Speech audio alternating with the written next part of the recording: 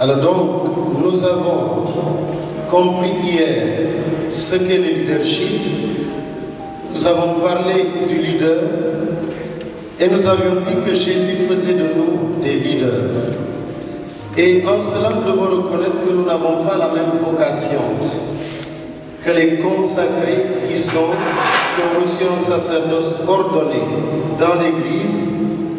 Le Concile Vatican II nous enseigne que nous sommes appelés à apporter dans l'Église et la société le ferment de l'Évangile. Et pour cela, hier, nous en avons parlé, nous devons tous, par la grâce de Dieu, accueillir l'appel de Jésus-Christ dans notre vie. Ce que Jésus désire faire de notre vie.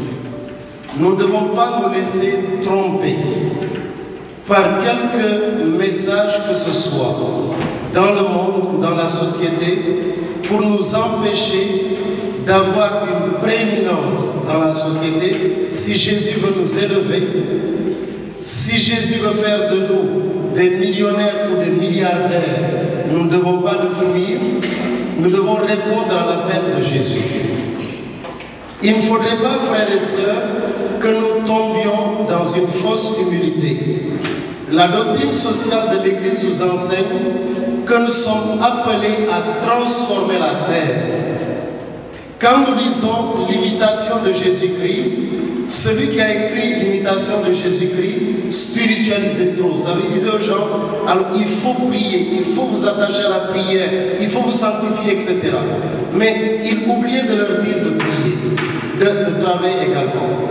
Et nous avons donné des exemples hier, tels que Saint Dominique, plutôt Saint Benoît, qui a contribué au développement économique de l'Europe. Nous vous disons hier que la science était entre les mains de l'Église durant 15 siècles. Nous comprenons bien, frères et sœurs. Alors c'est pourquoi il ne faudrait pas penser que le fait de recevoir un talent, que Dieu nous a donné de faire fructifier ce talent, est mauvais. Entrons dans ce que l'Église nous demande de faire. Je vous ai donné l'exemple de Georges Lapira, qui était maire de Florence. Et on est en train de travailler pour sa béatification. Nous vous avons donné l'exemple du président Julius Nyerere, qui était président de Tanzanie. Il est en cours de sanctification et de béatification. Son dossier est à Rome. Et tout à l'heure, nous allons voir un film de Jean Plia, vous avez vu le séminaire sur le leadership chrétien. Nous allons voir ce qu'a été Jean Plia au Bénin. Jean Plia était un homme de Dieu, un savant. Nous allons voir ce qu'était, comment il s'appelle, Billy Graham aux États-Unis. Il a rencontré pratiquement tous les, tous les, comment les présidents américains. Nous allons voir ce qu'a été Yonggi Cho en Corée du Sud.